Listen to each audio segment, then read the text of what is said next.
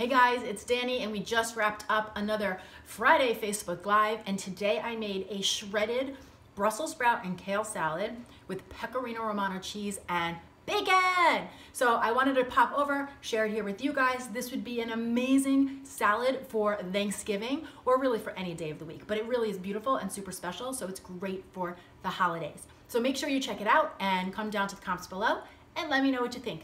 I'll see you soon. And we're live. Hello, hello, my friends. It's Dani coming at you live, 11:30 a.m. Eastern Standard Time from New Jersey. I am showing you guys today the salad that I have been most recently obsessed with. I have not shared this before.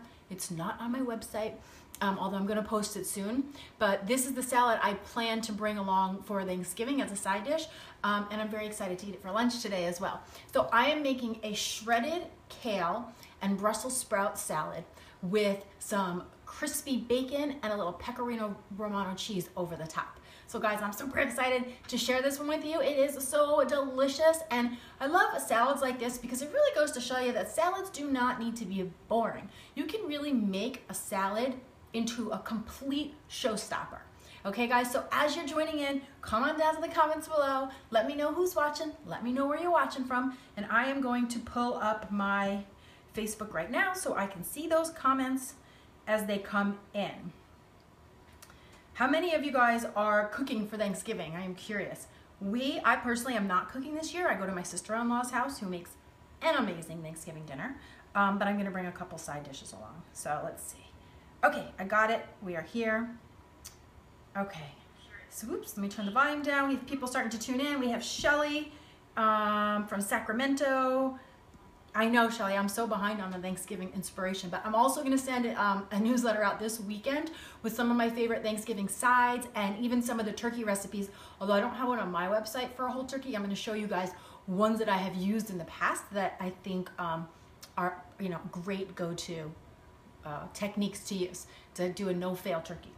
Okay, we have Julie from Chicago. Hey, Dani, Jen, hello um, oh, Tammy loved the, opal, the apple oat muffins. Okay, guys, awesome. Hi, Sabria. As you guys are tuning in, keep coming down to the comments. Let me know who's watching, where you're watching from, and please let me know if you are cooking Thanksgiving dinner. Like, do you host? Are you in charge of the main show? Or are you bringing a side or a dessert? And if so, what's it gonna be, okay? Come on down to the comments below, let's hear it. So guys, I'm gonna be making this beautiful shredded kale and Brussels sprout salad. I'm going to start with, oops, I hear myself. I'm going to turn the volume down. Should I make the dressing first or the salad first? Big decisions in my life. Okay. What are you doing first? I'm going to make the dressing first. Okay, so if you guys have been watching my videos for a while, you know that one of my absolute favorite kitchen tools are these little spouted glass cups with the measurements on the size. These are the perfect tool for making salad dressings because you have all the information you need right here um, if you're not someone who eyeballs it. Because I like to do my vinaigrettes 50-50, right? So traditionally a vinaigrette is three to one, three parts oil to one part vinegar or acid, citrus. For me, I like to do one to one. And it's not just because it's lighter, it is lighter, but I prefer the flavor. It's a little tart, it's a little more bright. So we're gonna start with a quarter cup of olive oil in the bottom. This is gonna make about a half a cup of dressing. That's about a quarter cup. And that's an extra virgin olive oil. That's when you guys, that's what you wanna use your good olive oil for, right? You buy those cold pressed, cold, um, extra virgin olive oils, really raw, grassy flavor, and don't cook with them. Save them to do beautiful dressings like this, okay? Then we're gonna add um, the same amount, so another quarter cup of fresh lemon juice, okay? And it's about one lemon usually, but it's gonna depend on how juicy your lemon is. Another favorite kitchen tool is this little orange squeezer. And you'll notice at the store, guys, they sell, um, they sell one for lemons, limes, and oranges. Just get the one for the oranges because it's the biggest, and you can do your lemons and limes in there too. If you get the smallest one, which is the lime one, then all you can do is limes. Okay. Does that look like we're half and half? I can't see from my angle. Yeah, that's good. Yeah, so we're about 50-50 there. Okay, then, um, let's see. I'm going to just check in real quick. I see some comments coming in. Julie says, I'm making turkey potatoes, not sure if it's mashed or roasted, green bean casserole, quinoa stuffing, and cranberry sauce. Oh, you're doing the whole nine. Dark chocolate chip. We have a quinoa. Remember our quinoa stuff? She's that- using yours. Oh, That's yeah. what she said. She said it was a big hit last year. Oh, nice. That's awesome. Okay, guys, so then to my dressing, and I have to say, when it comes to salad dressings, I just, I love this basic vinaigrette. I do tend to use it over and over, and I just change it by changing the type of acid I use, meaning maybe I'll use red wine vinegar, maybe I'll use balsamic vinegar. Today I'm using lemon juice, but those little changes do change the flavor, but it's the same base formula. Okay, so two cloves of garlic, easiest way to get your garlic out, knife over the top, little smash. Okay, garlic number one. And then we'll do it one more time. I should have put a garbage bowl actually. Garlic number two. Grab them. Okay. Yeah, maybe I'll do that. Okay. And then I'm getting a garbage bowl, guys. This is actually the Rachael Ray garbage bowl. And she's the one who like introduced me to that concept many moons ago. You keep if you're gonna do a lot of cooking, you just leave it on the counter so you don't have to go back and forth to the garbage. And you don't have to make a mess on your counter. Okay.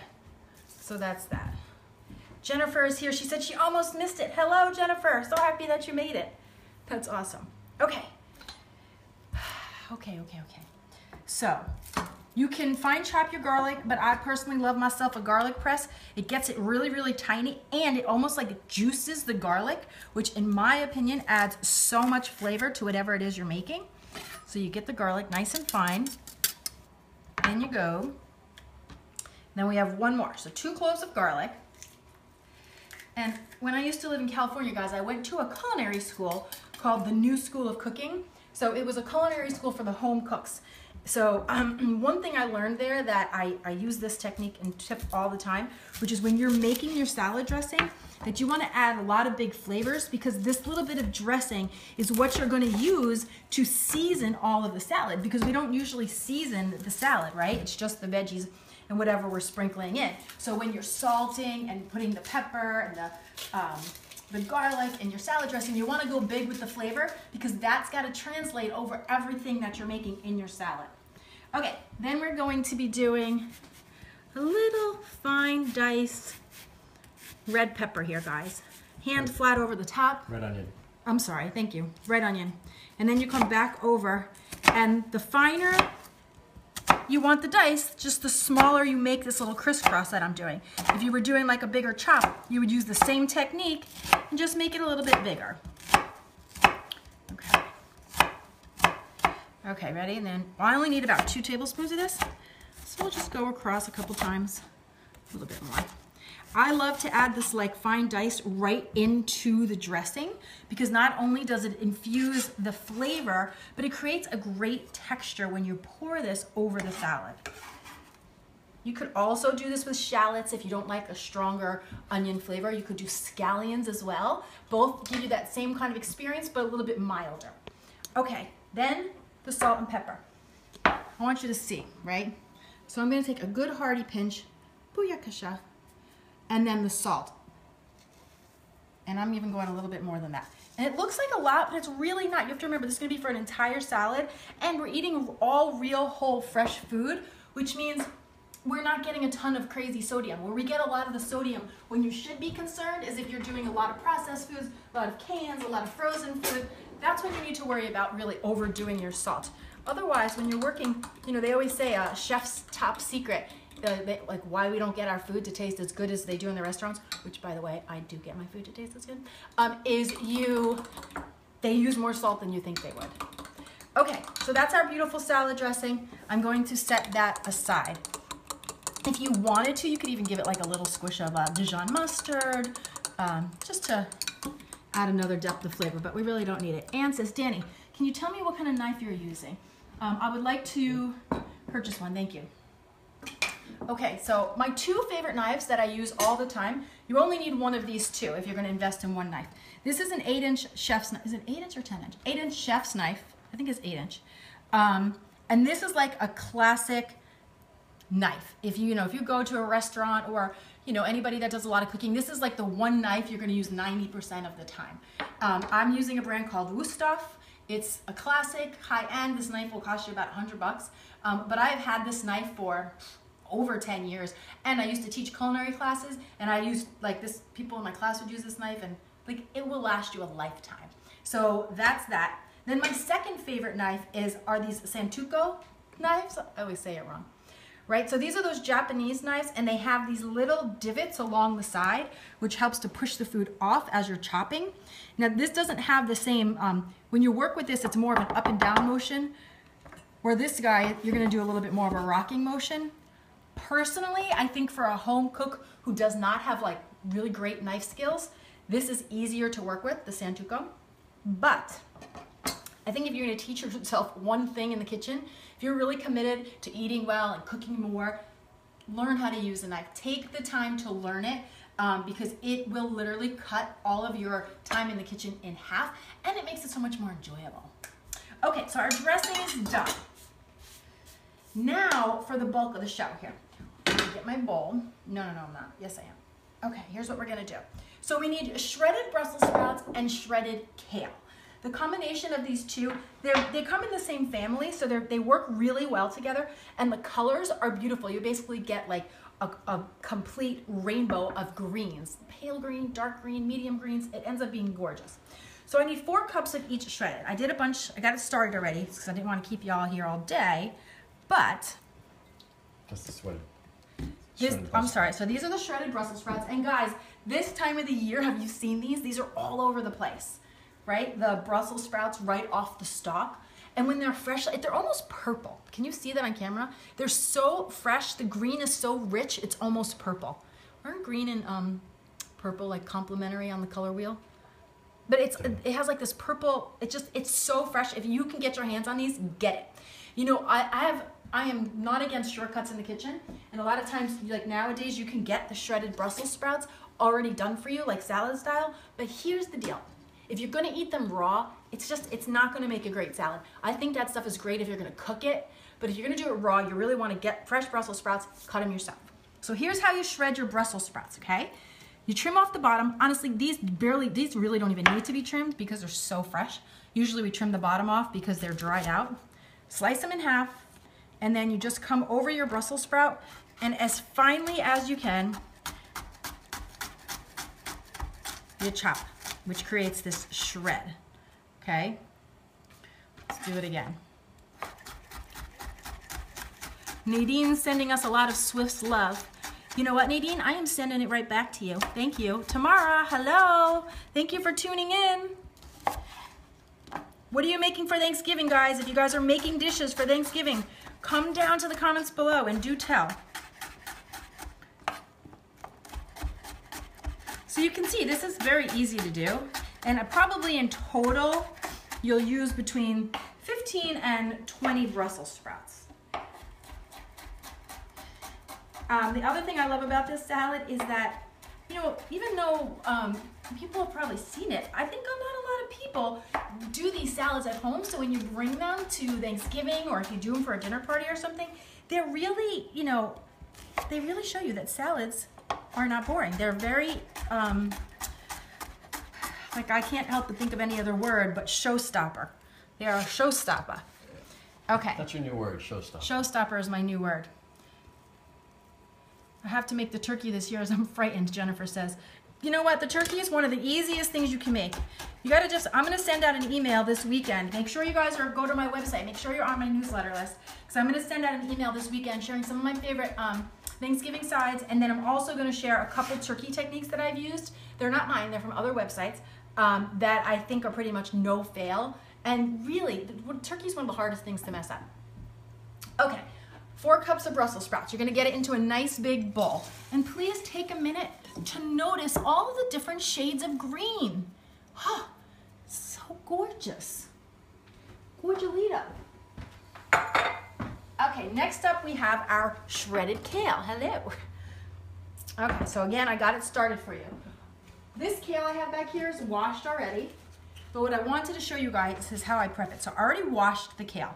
Whenever you're working with kale, easiest way to get that stem out of there, guys, hold the bottom, and then you put your fingers up like this, and I'm gonna pull up and away, and the leaf comes right off. It takes, couldn't be any easier. So much faster than trying to cut it out. Okay? You pull it up and away. So you got your kale leaves. Now, for kale and anytime you're making a salad, you want to make sure that your greens are dry or your, your dressing will not adhere. So this is my favorite tool for ensuring that. I get my greens washed, I get them cut, I mean stemmed, then I put them into my salad spinner and all you do is pump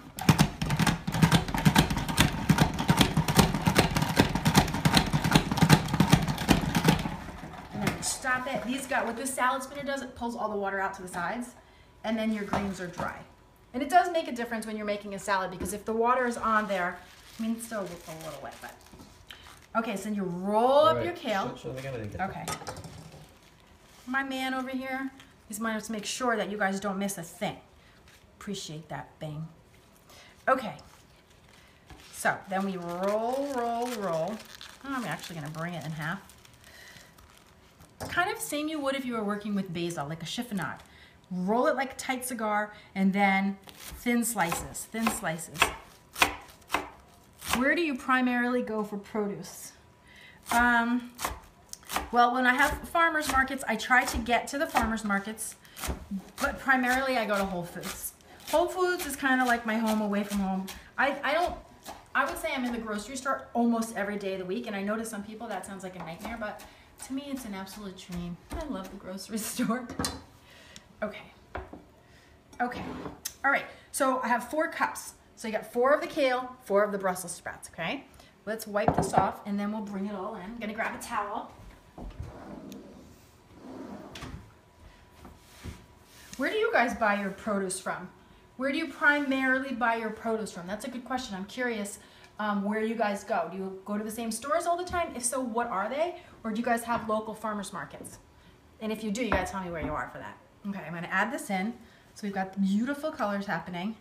Then what I like to do is just mix it together a little bit, just so we can see them all come together. We are gonna mix this with our dressing.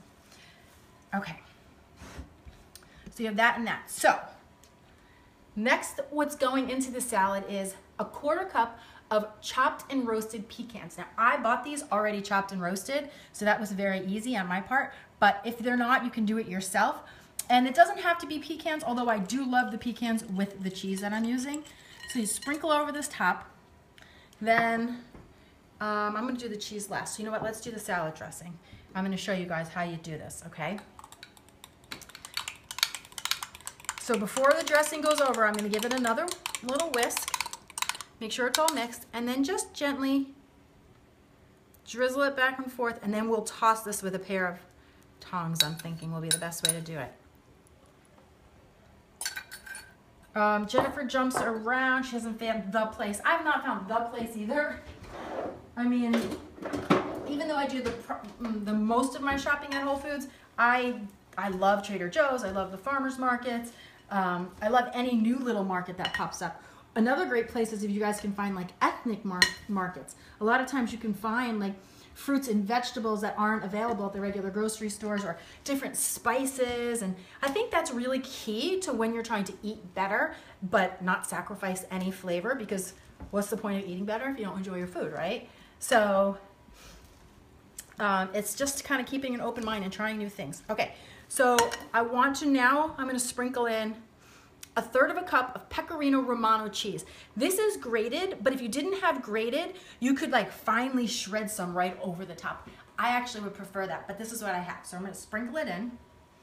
This adds a really nutty, creamy flavor. You can see this is very holiday because you have the nuts and the cheese and then these winter greens. And, and my friends, we are not done yet because the finishing touch to the Oh, yeah, salad don't, don't go anywhere yet. don't you go anywhere yet.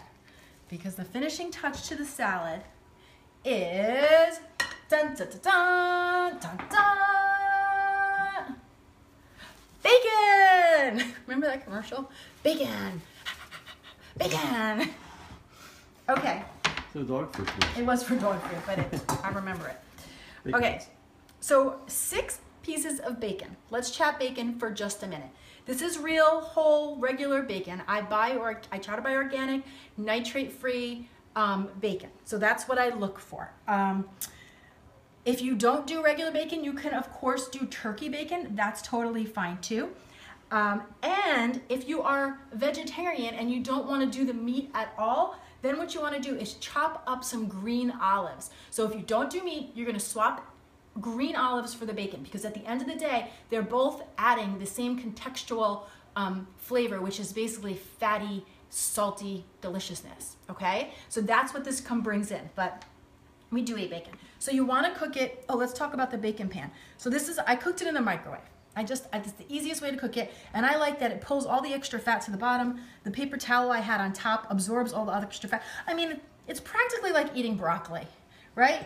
Mean, all the fat falls to the bottom. The paper towel, we're just left with like, you know, the healthiest part of the bacon. So, um, I put six pieces in the microwave for four minutes. Every microwave will vary. We have Rick. Good morning. Much love from Miami. Thank you so much. Thank you for joining in. Okay, so then what you're gonna do is this. Sprinkle your bacon over the top. Actually, you know what? I'm gonna do it like that. I'm gonna put this on my serving platter because I want the bacon, when you serve it, you want the bacon on top so people can see it. It's like beautiful finisher, okay? So I have this bowl over here.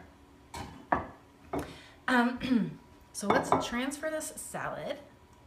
Hello, beautiful. I can't wait to eat lunch today. Oh my gosh. I mean, doesn't that look like gorgeous? Gorgeous. All the different shades of green is what gets me. Who knew green could be so many different colors? Okay. And I feel like this is the thing for me, for all my people out there trying to eat better. I feel like the key is to make food that tastes so good that it's not even about if you're eating healthy food or not. You're just eating delicious food, right? That is the name of the game in my book. Okay, that's enough. Save that for the chef snack. And isn't that gorgeous, Allison? I totally agree. Janice, beautiful salad. What about adding pomegranate seeds?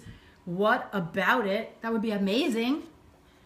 Okay, you know what else would be amazing? Like chopped apple, chopped pear. You can make any of them work. That's gonna add a sweetness where I'm kind of going salty, savory, fatty here, right? But these are all natural, real, whole food fats.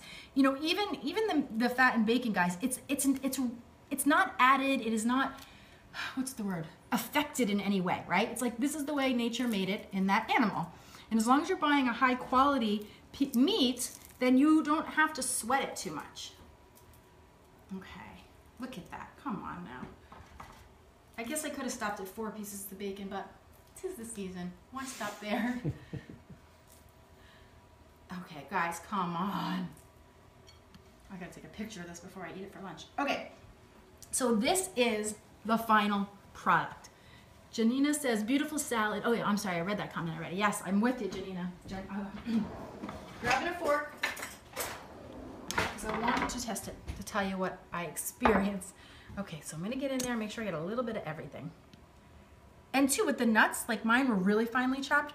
If you like more of a bite, you could use a bigger nut. You could do almonds, you could do walnuts. They would all work. Okay.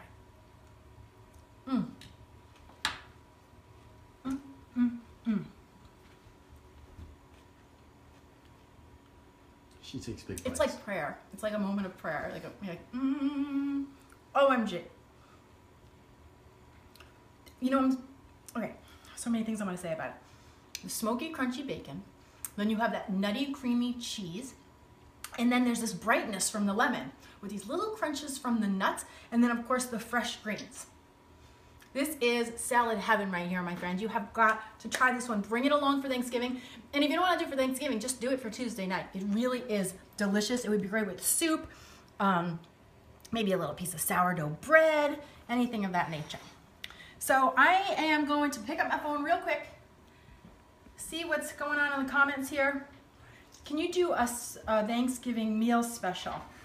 Um, like someone might be able to cook or remake with their family, etc.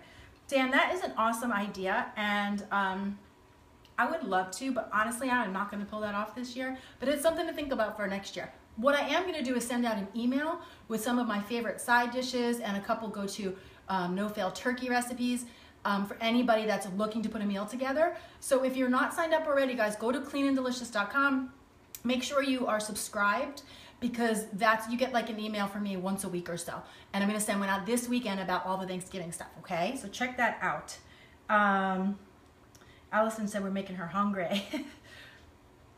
dried cranberries would be great. And I personally I love the um, dried cherries as well. Does any adding lemon work in saving a dish in the fridge?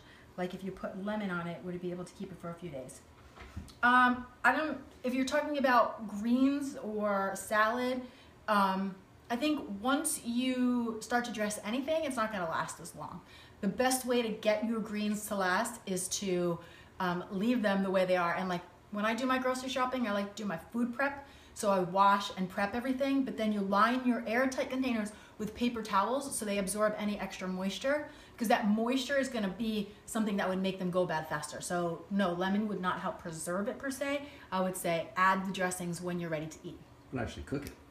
What be? Might cook it. Oh right, like a ceviche kind of thing. Mhm. I don't know for greens, No. but I know what you're saying. Okay, my friends, that's what I've got for you today. Thank you so much for tuning in. I will, um, this recipe, I need to put it into, it's not even on my website yet, so I need to type it up and put it up so that I can share it with you guys. So I'm gonna try to get that done today and or slash tomorrow. And uh, look for that Thanksgiving email. I also have a new soup recipe that's going up today. It's a kabocha uh, Thai red curry kabocha squash soup. So we got a lot of deliciousness happening here, guys, and I can't wait to share it with you. I will talk to you soon. Mwah! Thank you for tuning in. Bye.